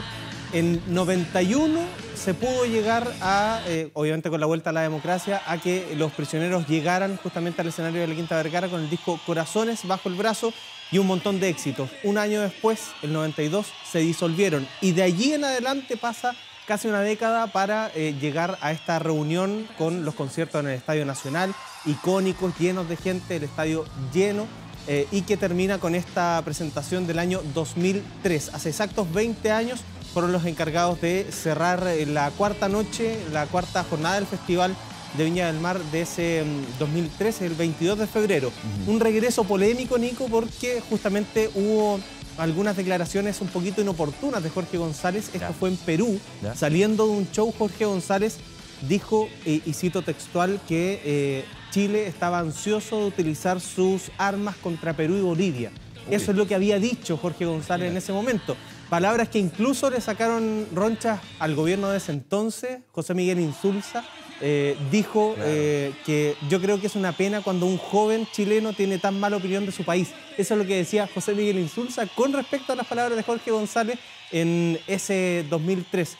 Así llegaban los prisioneros Y por a... eso pedían pif, pedía pifia, digamos. Claro, le daba tanto lo mismo, eh, lo que opinaba el mundo político, bueno, a los prisioneros siempre les importó poco eso, que llegaron al principal escenario de Chile a presentarse de esta manera, exigiendo las pifias del público y de ahí partiendo con una canción que era irreverente, compleja, polémica para el momento, sexo, justamente eh, partían con esto eh, el escenario, en el escenario de la Quinta Vergara hace 20 años, Nico, imagínate, muchos están sufriendo viendo estas imágenes, cómo se cae el carnet.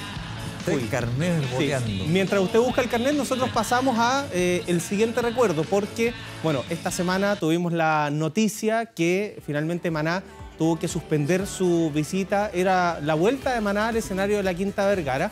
Y eh, ahí tenemos una situación bien particular, Nico, porque se había dicho, y acá sacamos el tejido a esta hora de la tarde, Miriam se había dicho se había dicho que Maná no quería volver a Chile hasta que Chile no le entregara mar a Bolivia. Claro, por declaraciones que tuvo su vocalista Fer en, en Bolivia, creo. En el año 2018, Ya. a, eh, el medio La Razón, Claro. eh, en una entrevista.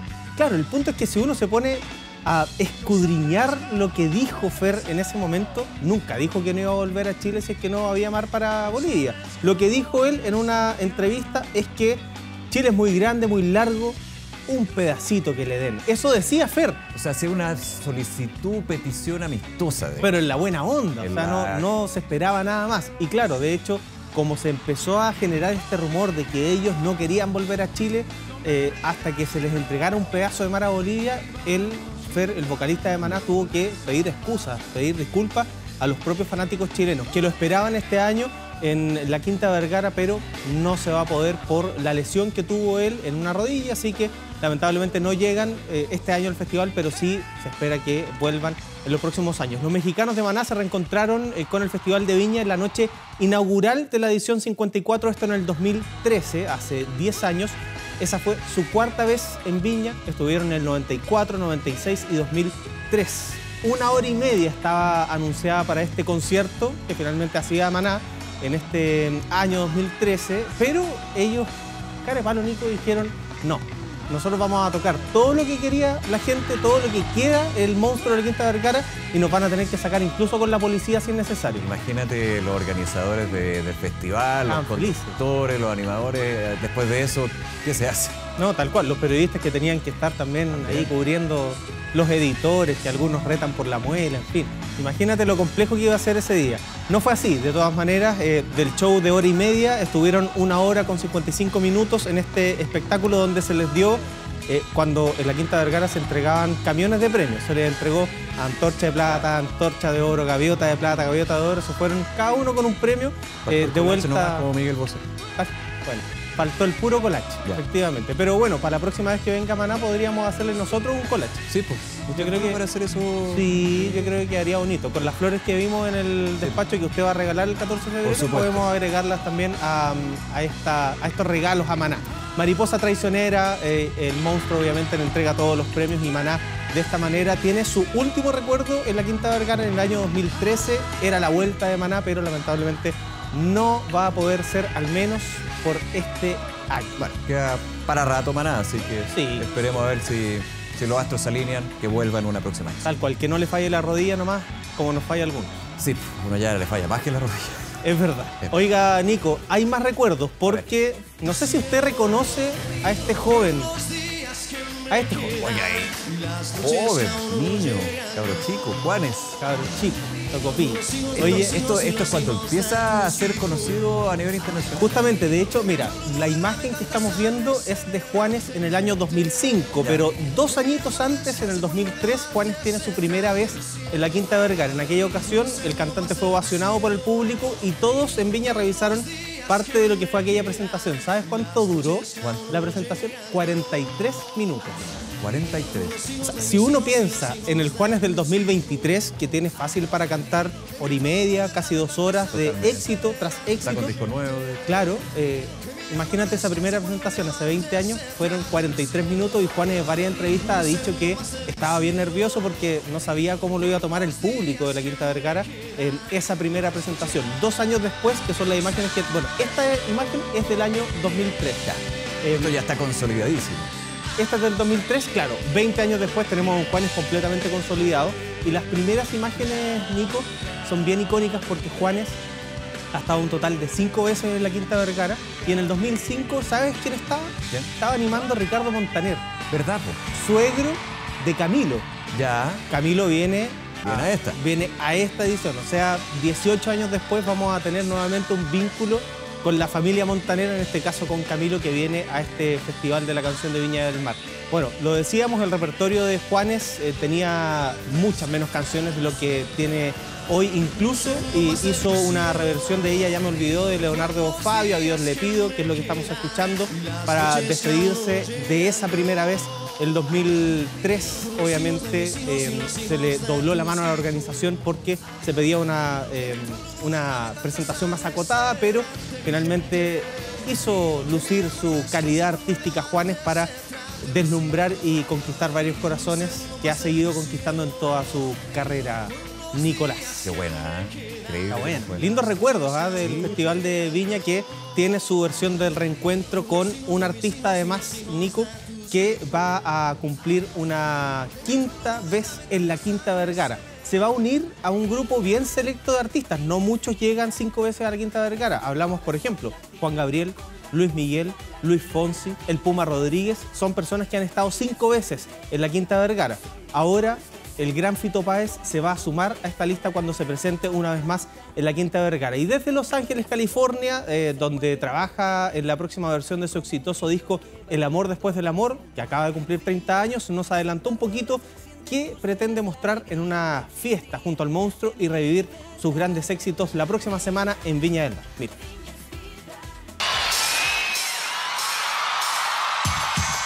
Hace mes y medio Fito Páez vino a Chile para celebrar los 30 años del disco más importante de su carrera.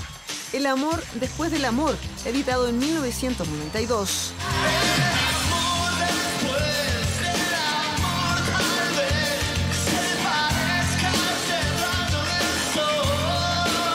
Al poco andar recibe una nueva invitación para regresar a nuestro país, esta vez al Festival de Viña. Desde Los Ángeles, California, nos habla de lo que será su quinta presentación en el festival. Es un festival histórico eh, y que es un festival importantísimo en el mundo. Eh, que reúne muchísimas cantidades, cantidades de géneros, de músicas diferentes de todos los tiempos y que siempre es un honor eh, ser convocado. ¿no?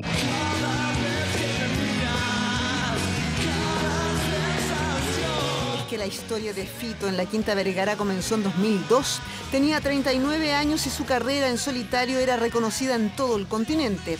Desde entonces ha vuelto en cuatro ocasiones. El 2004, el 2007 y el 2014, cuando el Rosarino, pese a salir a la escena muy tarde, mostró su rock con matices de jazz en un concierto inolvidable que cerró esa segunda noche.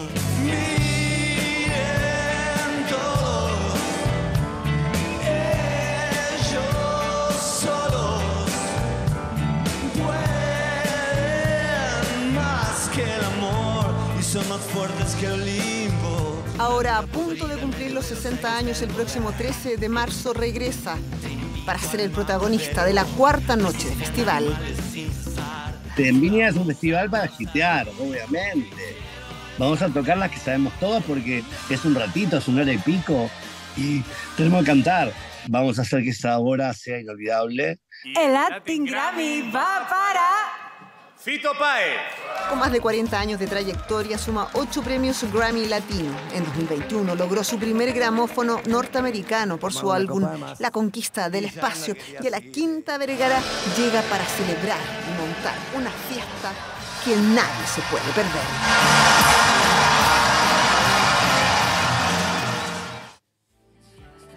Ya pues, Nicolás, estamos listos y dispuestos, de hecho, con el equipo, con la Caro Gutiérrez. El equipo que lleva. Una sorpresa ahí para el equipo del festival va a estar José Ignacio Atenas, que está de cumpleaños. ¿ah? Felices 28 años, verdad, a Nachito, querido Nachito Atenas. La Belén Arellano, que estuvo ayer acompañándolo acá. Y todo el equipo del regional, eh, que va a estar ahí recorriendo Viña, recorriendo la Quinta Vergara, viendo los secretos de este festival del Gente, buenos reencuentro. días a todos también. Pero por supuesto, está todo el equipo de TVN listo y dispuesto para este festival. La próxima semana, en siete días más, parte, pero el día viernes tenemos la Noche Cero, que es esta nueva gala que va a um, llevar a sus pantallas, obviamente, Televisión Nacional de Chile. Nosotros ya estamos listos y dispuestos, hasta con zapatitos lustrados, estamos listos. Está zapatitos de perfecto, los charol. va a dejar más, más brillosos para esa noche. Está tan perfecto incluso para el 14 de febrero, día cuando usted regale esas flores, Nicolás Vial. Ahí se la dejo. Sí, claro. Ya pues. Nos vemos. ¿eh? Oiga, que le vaya muy bien. Cuídese. Vale, chao. Hacemos una pausa y regresamos con más de 24 tarde. No se vayan.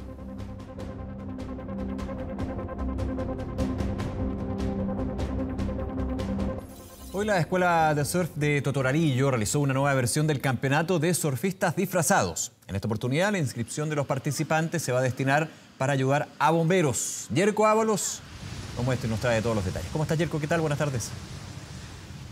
Don Nicolás, Vial, gusto de saludarte. 21 grados, temperatura agradable. Nos conectamos desde la región de Coquimbo, playa de Totoralillo y la imagen de lo que está ocurriendo a esta hora, porque efectivamente tú ya lo anticipabas, una actividad que se realiza todos los años y que nuevamente esta mañana a las 11 de la mañana, ya muy temprano, llegaban los primeros surfistas para participar de esta nueva versión 2023 del Campeonato de Surfistas Disfrazados que realiza la Escuela de Surf Totoralillo, una actividad que precisamente partió a las 11.30 de la mañana, ya muchos se tiraban al agua con sus tablas, esperado un único evento de surf disfrazado en Chile, que además de ser único en el país, es una alternativa para quienes quieren disfrutar y hacer de las olas una fiesta. Lo veíamos en imágenes, probablemente ustedes también en lo que hicimos esta mañana, paralelamente la imagen en vivo de Matías Pizarro Castillo esta hora, con eh, una producción perfecta, porque justo salimos en vivo a través de la pantalla de 24 horas y aparece el sol. Había estado, había estado algo nublado hasta ahora, sin embargo, en este minuto aparece el sol, nos vamos mover hacia la izquierda por la playa de Totoralillo, que está distante a unos 15, 20 minutos de la ciudad de Coquimbo, La Serena, y a esta hora pueden ver arenas blancas, aguas cristalinas y muchos de ellos, más de 21, 21 surfistas me decían, esa es la última cifra, todos perfectamente disfrazados que ingresaron al mar para surfear las olas de Totoralillo y poder ser los ganadores de estas distintas categorías que se premiaban hasta eh, el año anterior, el mejor disfraz en la ola, mejor maniobra de disfrazado, el más ridículo incluso, el mejor porrazo, entre otros premios. Este año todos se llevaron premio porque claro, como tú muy bien lo decías, las inscripciones estuvieron abiertas previamente, gratuitas, sin embargo, eh, quienes estaban llamados a participar, a reír y compartir, este año se les pedía reunir botellas de agua y también bebidas isotónicas, todo esto en aporte de los voluntarios para enviarlas el día de mañana, 13 de febrero, a quienes están combatiendo los incendios en el sur de Chile. Conversamos con surfistas, algunos que nos comentaban cómo la pasaron, cómo lo vivieron, cómo está la ola acá en Totoralillo en este verano 2023 y bueno, lo revisamos a continuación. Bueno, acá la escuela lleva haciendo este campeonato más por, por 10 años más o menos y este año lo quisieron vincular con los incendios del, del sur, pidiendo como inscripción una donación de aguas o alguna bebida isotónica para donar en, en ayuda a los incendios del sur. Eh, muy bonita experiencia, un poco frío, pero la verdad es que súper bien. Hay harto compañerismo acá entre la escuela surf tutorialillo, así que bacán. La gente motivada, el ambiente dominguero hermoso, familiar. Claro, lo único necesario es tener un buen disfraz, saber sortear y querer pasarlo bien junto a amigos, haciendo lo que más les gusta, nos decían el surf. Disfraces de piratas, novias, DJ, Pikachu, vimos a Chucky, oso, panda, samurai. La verdad que había de todo esta mañana y claro, es que los 20, 21 grados que a esta hora estaban perfectos para ingresar a este sector que además congrega a muchísimos turistas y claro, este era un panorama de venir a ver muy temprano. Tiene varias playas acá muy cercano a las Tacas, que está eh, la entrada hacia Coquimbo. Ustedes cuando vienen de Santiago se van a encontrar con Totoralillo, que está a unos 15, 10 minutos de llegar a la conurbación de La Serena y Coquimbo. Eh, veraneantes nos contaban también cómo la pasan acá, eh, cómo disfrutan de esta actividad. ¿Les parece que eh, veamos lo que pudimos conversar hace un rato con aquellos turistas que llegan hasta esta zona del país? Muy buena, muy buena iniciativa. Además que la inscripción es con donaciones para los bomberos, así que está súper buena. Bonita la actividad, los reúne a todos los chicos, así que entretenidísimo. Muy buena esta actividad que están haciendo en la playa en verano, un día rico para disfrutar en familia, así que todo invitado a, a Totoralillo. Maravilloso, maravilloso y con este campeonato mejor todavía. Está un bonito día, está nublado pero agradable igual. Un día rico para disfrutar en familia, lo decían los veraneantes que llegan hasta la provincia del Elqui, la zona más costera. A esta hora muchísimos turistas en el Chuapa, en el Limarí, también en los valles. Ojo que durante esta mañana eh, desde la Seremi de Salud informaron que se decretó la prohibición de baño y actividades recreativas en el borde costero de las playas Cuatro Esquinas, esto en la misma ciudad de La Serena, en Peñuelas y La Herradura, en el puerto de Coquimbo, por presencia de fragata portuguesa, una medida que estará vigente desde hoy domingo 12 de febrero de forma temporal, de acuerdo a lo indicado por la autoridad sanitaria, hasta el 11 de febrero la Dirección General de Territorio Marítimo advirtieron la presencia de 15 ejemplares de fragata portuguesa en las tres playas señaladas. Hablábamos de Playa Cuatro Esquinas, Peñuelas y La Herradura, que pertenecen a la misma conurbación de La Serena y Coquimbo. En este momento acá Totoralillo está sin problema. Recordemos que esta especie eh, secreta una neurotoxina, ¿cierto? Que en contacto con las personas puede producir irritación y eventualmente generar también un colapso cardiorrespiratorio, el simple contacto con especies vivas o muertas. Eh, destacar que desde ayer sábado 11 de febrero también se alzó la prohibición de baño y actividades recreativas ahí en el mar de la playa de Pichidangui, en la comuna de Los Vilos. Eh, no aplique agua dulce, nos decía la Ceremi, tampoco se debe frotar o rascar la piel con arena o toallas y sobre todo debe dirigirse al centro de salud más cercano. Como usted puede ver en la imagen de Matías Pizarro, las olas de la hermosa playa de Totoralillo, acá en la región de Coquimbo, nos decían que incluso Pamela Anderson, un personaje de la serie de La Casa de Papel, Superman, espantapájaro, futbolista, entre los disfrazados que llegaron durante esta jornada, Batman incluso, y muchos otros, seguramente en la nota le vamos a contar los detalles, fueron parte de los personajes que participaron por ganar y participar en estas categorías distintas, a pesar de que todos se llevaron premio. Ahora, ojo, Nico, que el equilibrio es fundamental, profesionales que de forma segura y divertida disfrutaron de las arenas blancas, las aguas cristalinas que están acá en Totoralillo. Doña Ábalos, muchísimas gracias por este reporte, por mostrarnos también lo que es esta iniciativa que se da todos los años en Tutoralillo. Gracias, Jerko, un abrazo. Y nos vamos a una pausa justamente con las imágenes envidiables, ¿ah? con estos 21 grados de la playa de Totoralillo. Hacemos una pausa, regresamos de inmediato con más de 24 tarde. Esta mañana en el balneario municipal de Antofagasta se realizó una limpieza del fondo marino. ¿Cuáles fueron los objetos recolectados de esta iniciativa que busca repetirse al menos una vez al mes? Gabriela Pérez con todos los detalles. ¿Cómo está Gabriela? Así es, hola, ¿qué tal? Muy buenas tardes, porque precisamente nos encontramos en el balneario municipal de Antofagasta, donde claramente hay mucha gente, muchas familias disfrutando las últimas horas, los últimos ya días de este verano 2023. Y tal como hay mucha gente, también, claro, es la basura que se genera, y no solo quizás en el exterior, sino que también en el interior, en el fondo marino.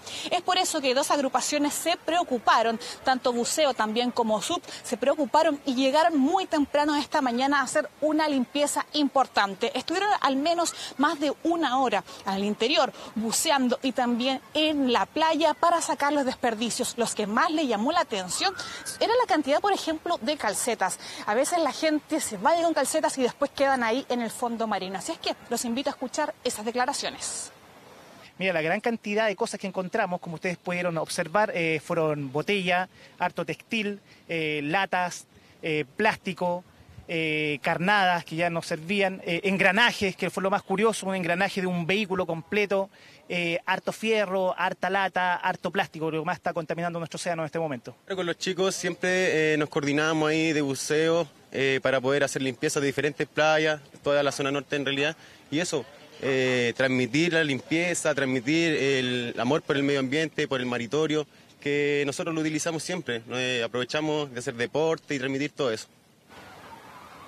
Y lo decíamos, la gente está disfrutando entonces de los últimos días ya de este verano 2023 y lo que más le gusta a la gente aquí en el balneario es la tranquilidad de la costa, la tranquilidad de la playa para realizar diversas prácticas deportivas. Por ejemplo, se ve mucho acá el tema del kayak, el tema de la gente que está también haciendo body y también el stand-up paddle, que es el SAP. Precisamente llegó esta disciplina, este eh, deporte hace el 2016 aproximadamente a Antofagasta. Hay una agrupación SAP Antofagasta que la practica, que hace clases y por ejemplo por solo 35 mil pesos, que es el valor de una clase, puede aprender lo básico para poder practicar esta disciplina. Le pasan las tablas, le pasan su ropa y le dan una clase personalizada. Entonces también los invito a escuchar estas declaraciones, cómo se está dando esta práctica deportiva aquí en Antofagasta.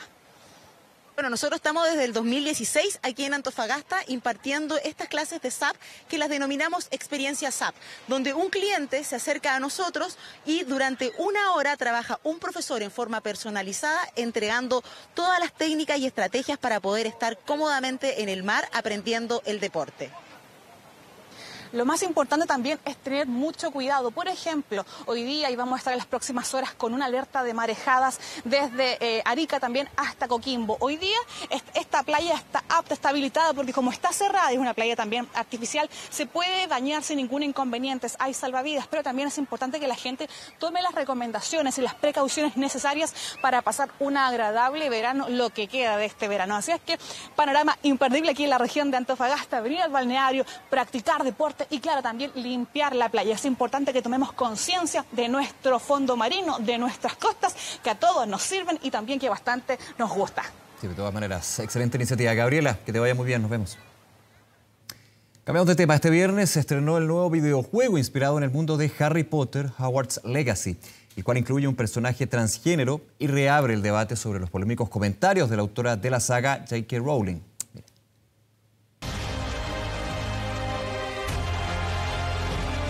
Howard's Legacy es el nuevo videojuego que comparte el universo de los libros de Harry Potter. Inspirado en el siglo XIX, se trata de un mundo abierto en el que se podrán explorar los terrenos de la escuela mágica y crear una historia propia. Hay mucho más que aprender. Más allá de la historia principal o las historias secundarias, el jugador literalmente puede hacer lo que quiere dentro del universo de Harry Potter, lo cual me parece sumamente atractivo. A pesar de ser bien valorado por la crítica, el videojuego vuelve a abrir el debate que desató en 2020 la creadora del mundo mágico J.K. Rowling, quien fue acusada de transfobia luego que emitiera una serie de mensajes en su cuenta de Twitter. Personas que menstruan. Estoy segura de que solía haber una palabra para esas personas. Alguien que me ayude. ¿Será algo parecido a mujer? Y la saga va evolucionando y tiene que irse adaptando a los tiempos. Y como ocurre esto, eh, obviamente se sobreexigen o exigen a la autora, a la creadora, eh, responsabilidad con la obra para con ellos. Pero la obra ya no le pertenece, la obra la maneja Warner. Aunque el juego se estrena este viernes, en internet ya circulan algunos videos sobre su desarrollo, en el que el personaje de Sirona Ryan llamó la atención de los fanáticos, ya que cuenta con rasgo femenino, pero una voz masculina, algo que la comunidad gamer ha catalogado como inclusión forzada, por lo que incluso hay llamados a boicotear el juego. Yo creo que más que un lado de imagen es, afron- es afrontar la realidad de que las personas trans existimos y que por tanto en todo aspecto también tenemos que estar reflejados. Y es que al momento de crear un personaje, los jugadores pueden elegir ser identificados como magos o brujas, independientemente de su aspecto, algo que le permitiría darle la identidad que uno desee. Me parece que es una forma de abarcar ciertos nichos de audiencia que habían estado históricamente dejados de lado y que ahora por fin, y particularmente en el caso de Hogwarts Legacy, en la creación de personajes como lo hemos discutido, la posibilidad de crear un personaje de ambigüedad sexual, honestamente, no tengo recuerdo que otro videojuego lo haya eh, ofrecido de una manera tan a la vista, tan sobre la mesa. El estreno de este videojuego coincide con la visita a Chile de Matthew Lewis, actor que interpretó a Neville Longbottom que se encuentra explorando el sur de nuestro país. Estoy en Chile, justo en el borde del mundo. ¿Algún fanático de Leeds Bielsa en Punta Arenas viendo el partido en algún lugar bueno? Desde Punta Arenas, un equipo de 24 horas logró conversar en exclusiva con él. Hey, what do you think about the Patagonia? I love it. It's beautiful so far. Yeah, yeah. I love Chile. I've been before. Uh, this is. Um, what do you say to the fans to Harry Potter in the fine in the world? this is a dream. Thank you for welcoming us so warmly to your country. I, uh, I've always had a lovely time here, and this is no exception. Sorry, I'm on the move. I'm in a rush to get somewhere, but uh, yeah, thank you for having us. What? Quienes también se encuentran en territorio nacional son los gemelos Oliver y James Phelps, más conocidos como los gemelos Weasley, quienes estarían interesados en grabar un programa en Torres del Paine. Visitas que aumentan el interés por el mundo mágico de Harry Potter, que en todos sus formatos sigue conquistando a sus fanáticos. Llegamos al final de 24 tarde agradeciéndoles como siempre su sintonía y recordándoles también que el Festival de Viña regresa y usted lo podrá ver por las pantallas de TVN. Completa cobertura de todos los momentos, los artistas, la nueva gala, lo que nadie ve y mucho más. De hecho, un equipo de 24 horas está listo ya para una completa cobertura del festival más importante de Latinoamérica. Regresa al festival más importante de Latinoamérica. ¿Estoy sola? Necesito un equipo. Un tremendo equipo. Kevin, deja de tomar café, no hay congreso. Vámonos a Viña. Vamos. Y estamos con los ojos puestos. Belén, olvídate de ese. Este es el festival. Lo siento, tengo que dejar hasta acá. Me voy a Viña. Pero Nacho, ¿qué importa si sube o baja el dólar? Se viene el festival. Pero claro, ya estoy listo. Como que nos falta algo. Nos falta alguien. Un conductor quizás. Otro más que sepa de festivales. En 24 horas ya estamos en Viña 23.